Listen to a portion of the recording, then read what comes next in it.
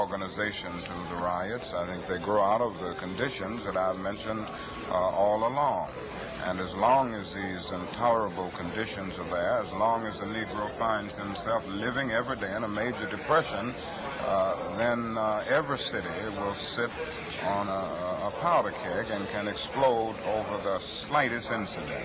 I feel that killing is a very tragic way to deal with any social problem. There is no violent solution to the problem that the Negro confronts in this country, and this is why I have constantly said that riots are socially destructive and self-defeating. After all, the Negro ends up uh, on the losing end. We can't win a violent revolution. Most of the persons killed in riots are Negroes themselves. Uh, the persons who end up not being able to get uh, milk for their children of Negroes uh, because things where they have to live are destroyed.